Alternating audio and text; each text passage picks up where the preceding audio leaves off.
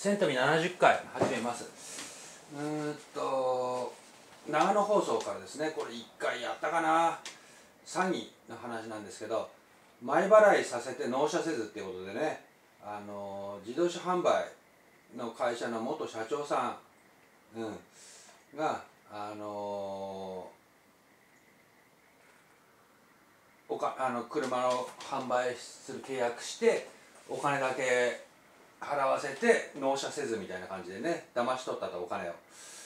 60代男性から178万円30代女性から580万円ということで詐欺の罪で元社長起訴内容を認めると。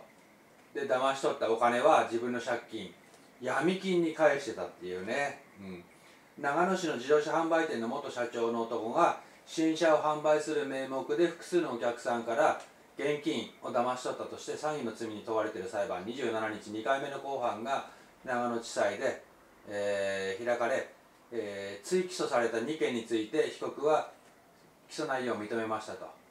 で詐欺の罪に問われているのは長野市の自動車販売店デュナミスレーシング難しい名前ですね。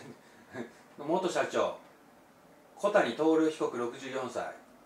このね被告60代の男性から現金178万円30代女性から3回にわたって合計580万円騙し取ったとして追起訴、うん、間違いありませんか？って言われて間違いありませんと答えて起訴内容を認めましたと。判決は6月1日にあ違う6月12日に言い渡されますということで。これねもしかしたら私前に扱ってる 詐欺の案件かももう分かんない。もう何扱ったか。うん。まあ自動車販売店ね。うん。あのまあ単にこの人経営苦しかったんでしょう。でうん。被害者から受け取ったお金はね闇金から借りた自身の借金の返済に充てたっていうことで闇金から借りちゃうとねあの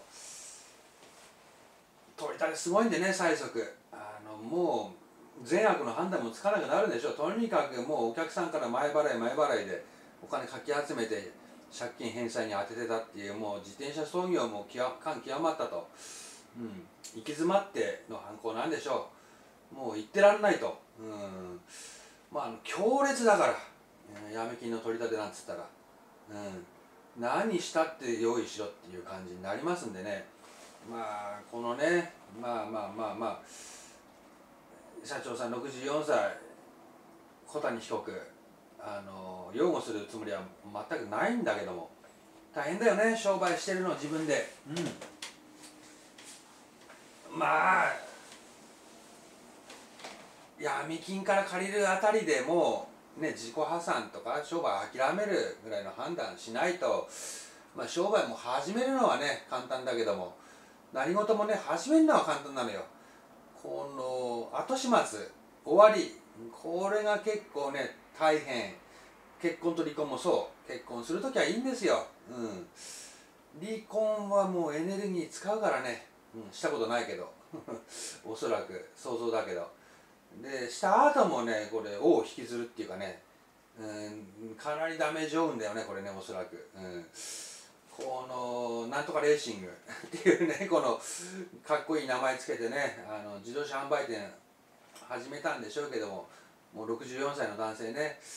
うん。まあちょっとずつちょっとずつ借金が増えてって最後闇金まで行って最後詐欺師になってで罪人になって、えー、犯罪者になって、えー、もう64歳ですよ。っていうことでねあの本当に引き際も肝心ですよっていうことですね。これを思うのは。あと被害に遭った方々ね大変だと思いますけどこれは戻ってこないですねおそらく。はい。どうしたって。うん。あの詐欺まあ詐欺なんだけどね詐欺、うん、あのいわゆるオレオレ詐欺とかねあの特殊詐欺とか言われるもので被害に遭ったのとはまたちょっと違ってねこれ。うん。まああのなんていうのかなあの騙しにかかったまあ騙しにかかってるんだろうけどねこの本当にこうやってね、うん、最初はいろんな意味でね社会貢献したいとかね、うん、好きなこと仕事にしたいとかそういう意気込みでこの元社長小谷帰国64歳もねあの事業を始めたんだとは思うんだけども引き際が引き際が悪いとね、うん、こうなっちゃうよね最後。っていう感想を持ちましたっていうことで前以前もう取り扱ってる詐欺の案件かも分かんないですけどネタがね少なかったっていうわけじゃないですけど扱ってみましたっていうことで。まああのうん。買い物する時ね前払いいいんだけどもこういう場合もあるよと。払ったけど物が来ないっていうね。うん。まあうん。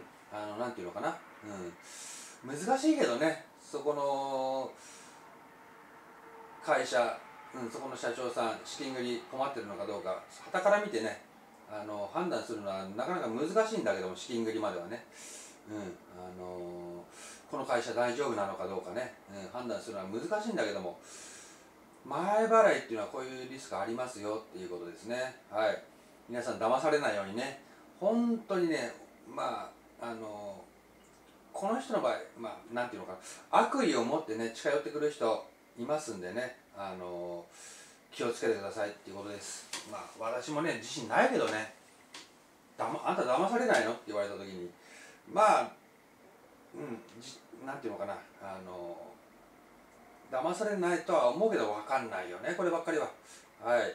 1070回終わりにしたいと思います。簡単に。チャンネル登録高評価お願いします。失礼します。